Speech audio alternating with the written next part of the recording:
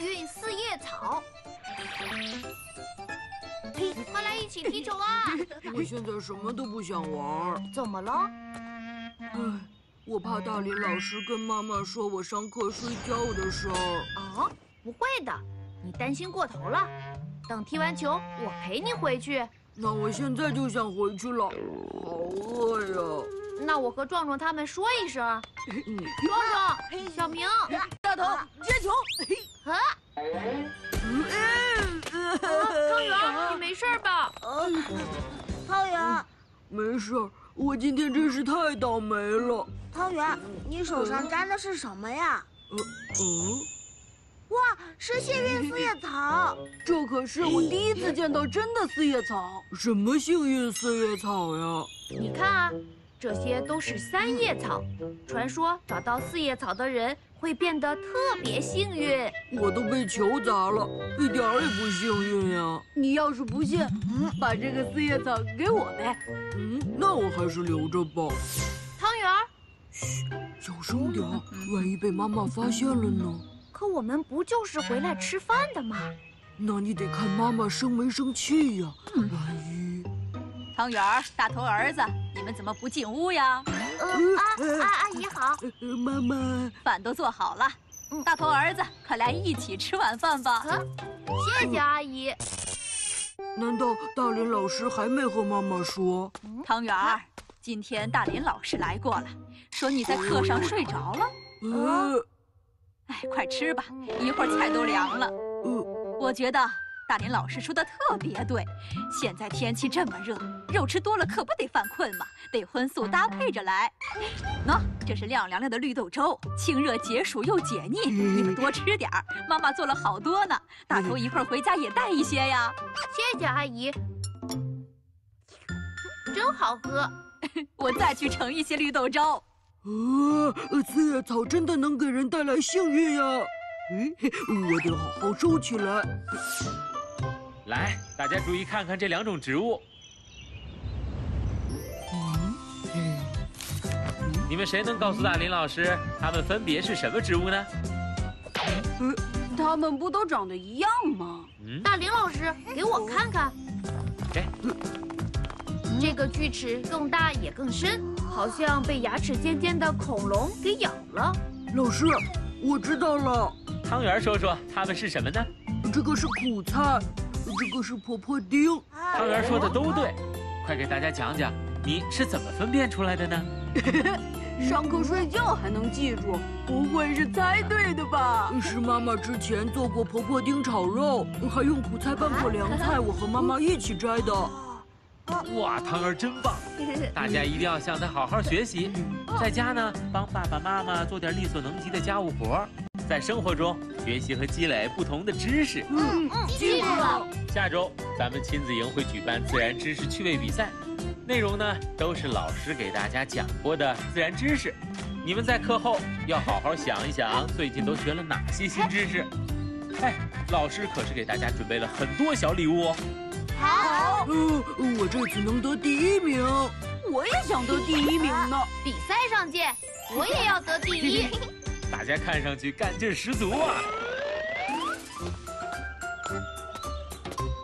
嗯，汤圆，你在找什么？我在找幸运四叶草啊。四叶草真的像传说中一样可以带来幸运吗？那不是传说，是真的。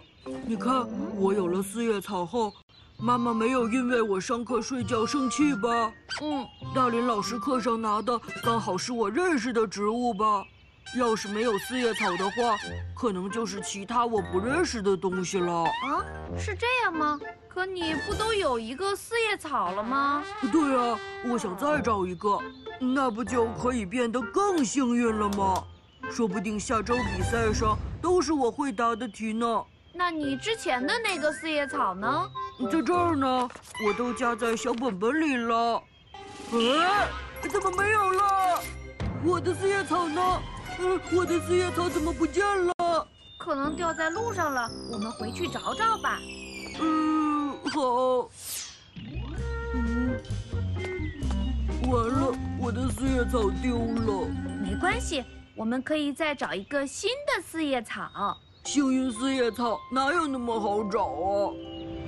没了四叶草，我肯定会变得很倒霉。哦，回家可能被妈妈说，下周比赛可能都是我不会的题了。不会的，没有四叶草，不就和以前一样了吗？汤圆儿，呃，不说好这个点儿回家吃饭的吗？呃，来了！对了，啊，早上刚给你换的新衣服，怎么一天没到就弄得这么脏啊？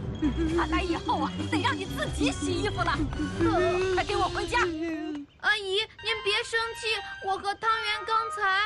呃，大头儿子，正好你也跟阿姨一起回去吧。阿姨，你们先回去吃饭吧，我等会儿再回去。哎呦，一会儿天都黑了，赶紧回家，不然爸爸妈妈该担心了。好，汤圆丢了四叶草，太难过了。不行，我得帮他找回四叶草。起飞喽！飞机该返航回家喽。小头爸爸，您来了，我需要您的帮助。大头儿子都快变成小花猫了，嘿，发生什么事情了？就是这样。原来是这么回事啊！那你相信四叶草可以让人变得幸运吗？我也不知道，但是汤圆有了四叶草之后，真的变得幸运了。哎，其实啊，除了三叶草、四叶草，还有五叶草呢。三叶草其实也叫做车轴草，四叶草、五叶草也都是它的稀有变种。就像围裙妈妈烤饼干，有的饼干就是和其他的饼干的形状不太一样啊。是啊，汤圆觉得是四叶草让他变得幸运，才答对大林老师的问题。其实如果没有汤圆日常的积累，就算有四叶草，他也不知道正确的答案呢。可是汤圆没有四叶草，都没有信心参加比赛了。嗯，我们得想个办法了，让汤圆相信，就算没有四叶草，他自己也能行的。毕竟他可是连四叶草都找到过的。小头爸爸，我想到了。哎，对。